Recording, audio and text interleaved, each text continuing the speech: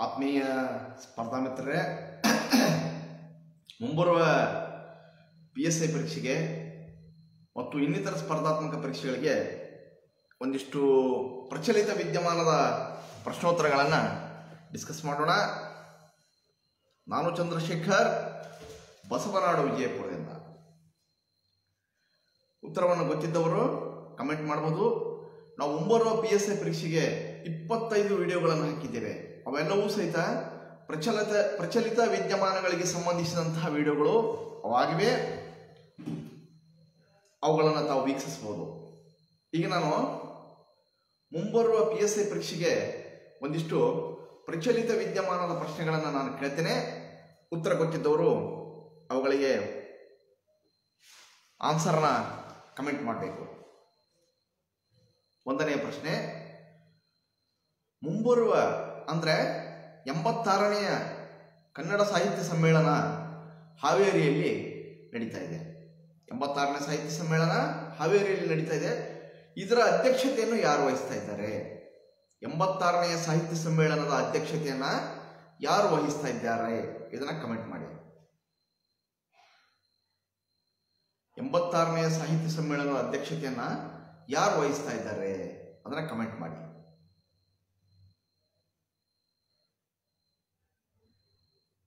ಹಾವೇರಿಯಲ್ಲಿ ನಡೆಯಲಿರುವ ಎಂಬತ್ತಾರನೆಯ ಕನ್ನಡ ಸಾಹಿತ್ಯ ಸಮ್ಮೇಳನದ ಅಧ್ಯಕ್ಷತೆಯನ್ನು ಯಾರು ವಹಿಸ್ತಾ ಇದ್ದಾರೆ ಅದನ್ನ ಕಮೆಂಟ್ ಮಾಡಿ. ನಿಮಿಷ ಅಡ್ಜಸ್ಟ್ ಮಾಡೋಣ.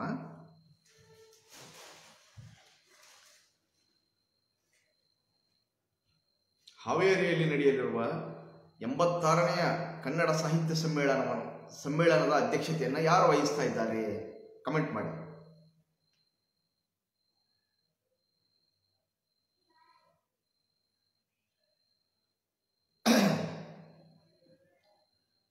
ಹಾವೇರಿಯಲ್ಲಿ ನಡೆಯಲಿರುವ ಎಂಬತ್ತಾರನೆಯ ಕನ್ನಡ ಸಾಹಿತ್ಯ ಸಮ್ಮೇಳನದ ಅಧ್ಯಕ್ಷತೆಯನ್ನು ದೊಡ್ಡ ರಂಗೇಗೌಡರು ವಹಿಸ್ತಾ ಇದ್ದಾರೆ. ಯಾರೋ?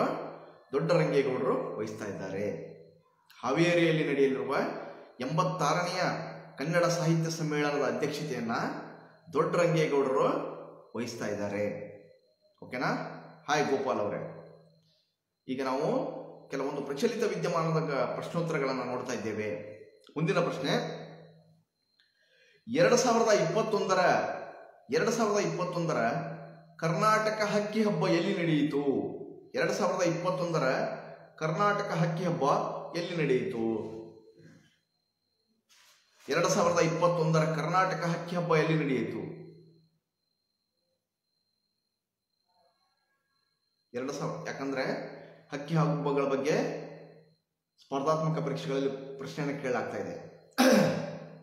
ನನ್ನ ಪ್ರಶ್ನೆ ಏನಂದ್ರೆ, ಎರಡು ಸಾವಿರದ ಇಪ್ಪತ್ತೊಂದರ ಕರ್ನಾಟಕ ಹಕ್ಕಿ ಹಬ್ಬ ಎಲ್ಲಿ ನಡೆಯಿತು?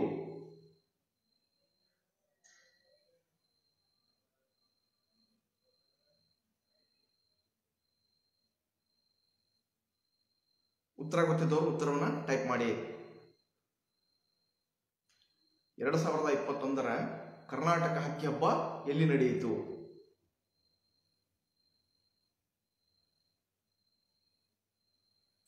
ಎರಡು ಸಾವಿರದ ಇಪ್ಪತ್ತೊಂದರ ಕರ್ನಾಟಕ ಹಕ್ಕಿ ಹಬ್ಬ ಬಿಳಗಿರಿ ರಂಗನ ಬೆಟ್ಟದಲ್ಲಿ, ಅಂದರೆ ಬಿಳಗಿರಿ ರಂಗನ ಟೈಗರ್ ರಿಸರ್ವಯರ್ ಏನಿದೆಯಲ್ಲ ಅಲ್ಲಿ ನಡೆಯಿತು. Biligiri Rangana B R T ಅಲ್ಲಿ ನಡೆಯಿತು. ಅದೇ ಎರಡು ಸಾವಿರದ ಇಪ್ಪತ್ತರದು ನಂದಿ ಹಬ್, ನಂದಿ ಬೆಟ್ಟದಲ್ಲಿ. ಯಾಕಂದ್ರೆ ಎರಡನ್ನೂ ನೆನಪಿಡಿ. ಮೊನ್ನೆ ಎರಡು ಸಾವಿರದ ಇಪ್ಪತ್ತೊಂದರದ್ದು ಕೇಳಿಲ್ಲ ಗ್ರೂಪ್ ಸಿಯಲ್ಲಿ ಎರಡು ಸಾವಿರದ ಇಪ್ಪತ್ತರದ್ದು ಕೇಳಿದ್ರು. ಹೀಗಾಗಿ ಎರಡು ಸಾವಿರದ ಇಪ್ಪತ್ತು, ಎರಡು ಸಾವಿರದ ಇಪ್ಪತ್ತೊಂದು ಎರಡನ್ನೂ ಸಹಿತ ನೆನಪು, ನೆನಪಿಡಿ. ಎರಡು ಸಾವಿರದ ಇಪ್ಪತ್ತರದು ಕರ್ನಾಟಕ ಹಕ್ಕಿ ಹಬ್ಬ ನಂದಿ ಬೆಟ್ಟದಲ್ಲಿ ನಡೀತು. ಎರಡು ಸಾವಿರದ ಇಪ್ಪತ್ತೊಂದರದು ಬಿಳಗಿರಿ ರಂಗನ ಬೆಟ್ಟದಲ್ಲೇ ಅಂದ್ರೆ ಬಿ ಆರ್ ಟಿ ಅಲ್ಲಿ ನಡೆಯಿತು. ಇವುಗಳನ್ನು ನೀವು ನೆನಪಿಡಬೇಕು. ಓಕೆ ಮುಂದಿನ ಪ್ರಶ್ನೆ. ಪ್ರಶ್ನೆಯನ್ನು ಕೇಳಿಸ್ಕೊಳ್ಳಿ. ಕರ್ನಾಟಕದ ಎಷ್ಟು ಬೀಚ್ಗಳಿಗೆ, ಕರ್ನಾಟಕದ ಉತ್ತರ ಗೊತ್ತಿದ್ದವರು ಆನ್ಸರ್ನ ಕಮೆಂಟ್ ಮಾಡಿ. ಕರ್ನಾಟಕದ ಎಷ್ಟು ಬೀಚ್ಗಳಿಗೆ ಬ್ಲೂ ಫ್ಲಾಗ್ ಸರ್ಟಿಫಿಕೇಶನ್ ದೊರೆತಿದೆ. ಕರ್ನಾಟಕದ ಎಷ್ಟು ಬೀಚ್ಗಳಿಗೆ ಬ್ಲೂ ಫ್ಲಾಗ್ ಸರ್ಟಿಫಿಕೇಶನ್ ದೊರೆತಿದೆ? ಆನ್ಸರ್ನ ಕಮೆಂಟ್ ಮಾಡಿ.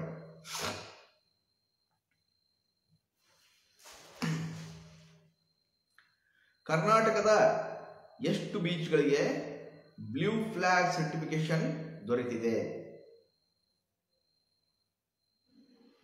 ಆನ್ಸರ್ನ ಕಮೆಂಟ್ ಮಾಡಿ. ಕರ್ನಾಟಕದ ಎಷ್ಟು ಬೀಚ್ಗಳಿಗೆ ಬ್ಲೂ ಫ್ಲಾಗ್ ಸರ್ಟಿಫಿಕೇಶನ್ ಬರುತ್ತಿದೆ?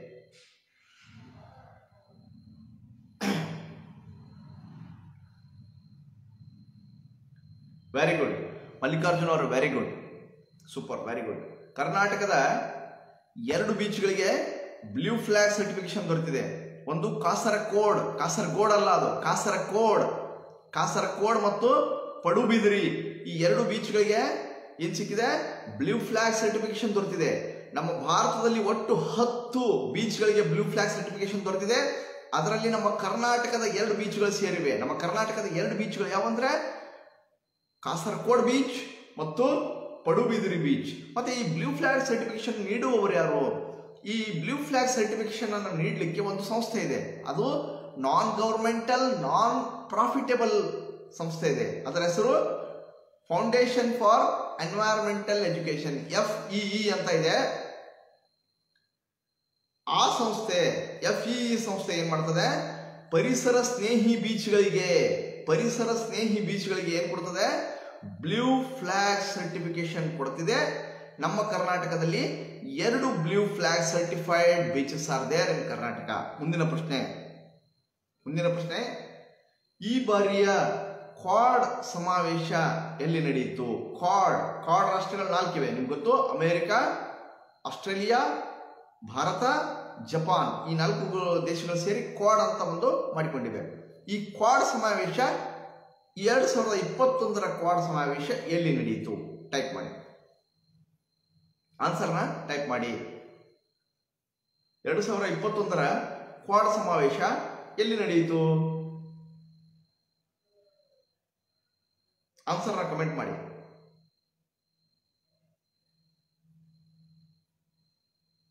ಎರಡು ಸಾವಿರದ ಇಪ್ಪತ್ತೊಂದರ ಕ್ವಾಡ್ ಸಮಾವೇಶ ಎಲ್ಲಿ ನಡೆಯಿತು?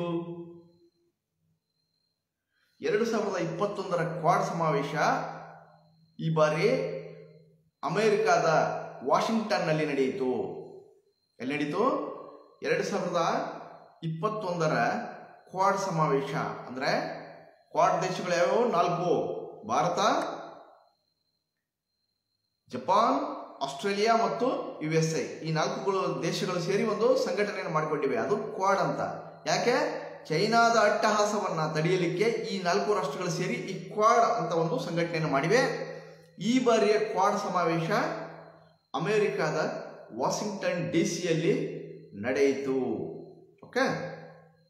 ಮುಂದಿನ ಪ್ರಶ್ನೆ. ಬೆಪಿ ಕೊಲಂಬೋ ಬೆಪಿ ಕೊಲಂಬೋ ಇದು ಯಾವ ದೇಶ, ಇದು ಯಾವ ಗ್ರಹಕ್ಕೆ ಸೇರಿದ ಒಂದು ಮಿಷನ್ ಆಗಿದೆ? ಬೆಪಿ ಕೊಲಂಬೋ ಬೆಪಿ ಕೊಲಂಬೋ ಇದು ಯಾವ ಗ್ರಹಕ್ಕೆ ಸೇರಿದ ಒಂದು ಮಿಷನ್ಗಳಿರ್ತಾವಲ್ಲ ಬಾಹ್ಯಾಕಾಶ ಮಿಷನ್. ಈ ಬೆಪಿ ಕೊಲಂಬೋ ಯಾವ ಗ್ರಹಕ್ಕೆ ಸೇರಿದ ಒಂದು ಬಾಹ್ಯಾಕಾಶ ಮಿಷನ್ ಆಗಿದೆ? This Bepi Colombo mission is related to which planet Bepi Colombo Bepi Colombo ಇದು ಯಾವ ಗ್ರಹಕ್ಕೆ ಸಂಬಂಧಿಸಿದ ಒಂದು ಬಾಹ್ಯಾಕಾಶ ಮಿಷನ್ ಆಗಿದೆ? ಆನ್ಸರ್ ಕಮೆಂಟ್ ಮಾಡಿ.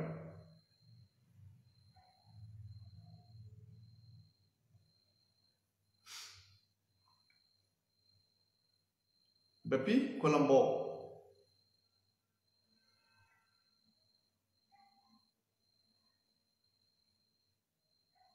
ಬೆಪಿ ಕೊಲಂಬೋ ಇದು ಯಾವ ಗ್ರಹಕ್ಕೆ ಸೇರಿದ ಒಂದು ಬಾಹ್ಯಾಕಾಶ ಮಿಷನ್ ಆಗಿರುತ್ತದೆ?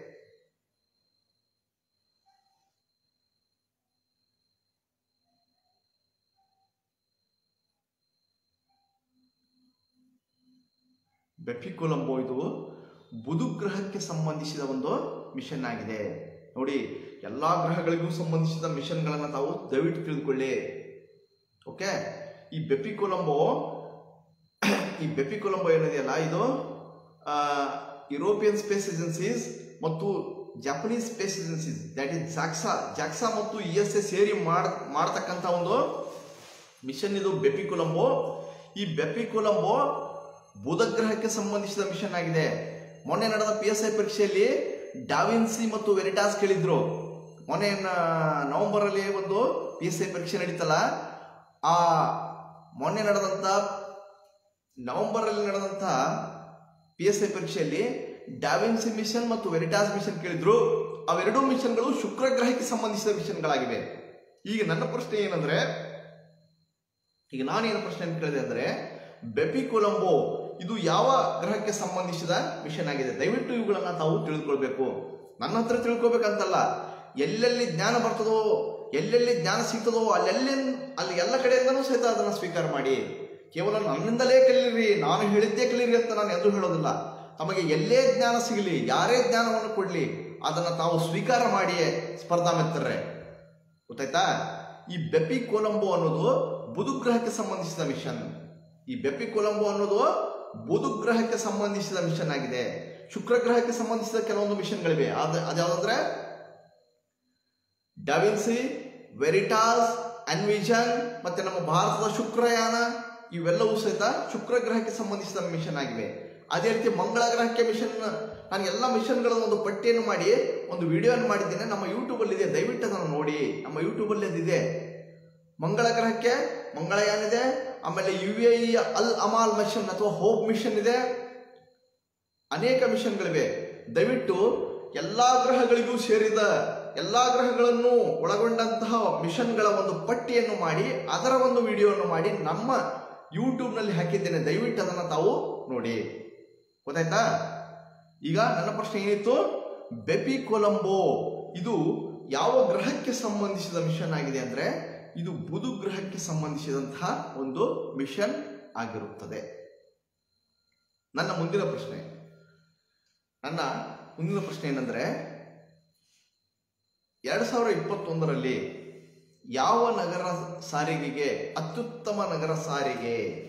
ನಮ್ಮ ಭಾರತದ, ನಮ್ಮ ಎಂಟೈರ್ ಭಾರತದ ಯಾವ ನಗರದ ಸಾರಿಗೆ ವ್ಯವಸ್ಥೆಗೆ ಅತ್ಯುತ್ತಮ ನಗರ ಸಾರಿಗೆ ವ್ಯವಸ್ಥೆ ಎಂದು ಕೇಂದ್ರ ಸರ್ಕಾರ ಪ್ರಶಸ್ತಿಯನ್ನು ನೀಡಿದೆ. ಯಾವ ನಗರ ಸಾರಿಗೆ ವ್ಯವಸ್ಥೆಗೆ ಅತ್ಯುತ್ತಮ ನಗರ ಸಾರಿಗೆ ವ್ಯವಸ್ಥೆ ಎಂದು ಕೇಂದ್ರ ಸರ್ಕಾರ ಪ್ರಶಸ್ತಿಯನ್ನು ನೀಡಿದೆ. ಆ ನಗರದ ಹೆಸರನ್ನು ಟೈಪ್ ಮಾಡಿ. ಯಾವ ನಗರದ ಸಾರಿಗೆ ವ್ಯವಸ್ಥೆಗೆ ಅತ್ಯುತ್ತಮ ನಗರ ಅತ್ಯುತ್ತಮ ನಗರ ಸಾರಿಗೆ ವ್ಯವಸ್ಥೆ ಎಂದು ಕೇಂದ್ರ ಸರ್ಕಾರ ಪ್ರಶಸ್ತಿಯನ್ನ ನೀಡಿದೆ. ದಯವಿಟ್ಟು ಅದನ್ನ ಟೈಪ್ ಮಾಡಿ ಆನ್ಸರ್ನ ಟೈಪ್ ಮಾಡಿ.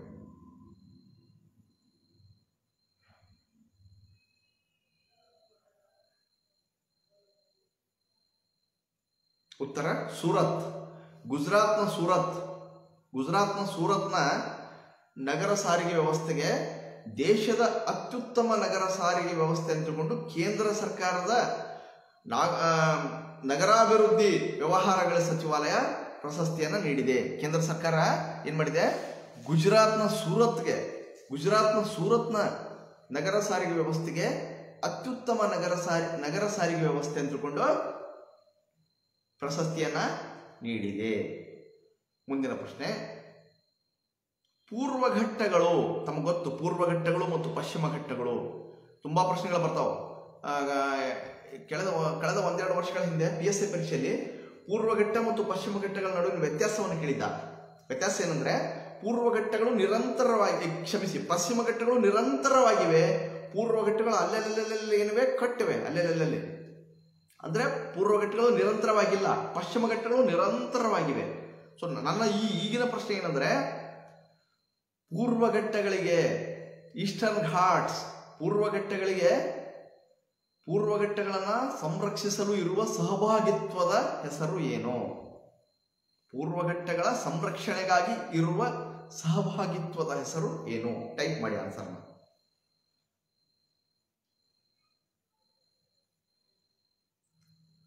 ಪೂರ್ವಘಟ್ಟಗಳಿಗಾಗಿ, ಪೂರ್ವಘಟ್ಟಗಳ ಸಂರಕ್ಷಣೆಗಾಗಿ ಇರುವ ಸಹಭಾಗಿತ್ವದ ಹೆಸರು ಏನು? ಆನ್ಸರ್ನ ಟೈಪ್ ಮಾಡಿ.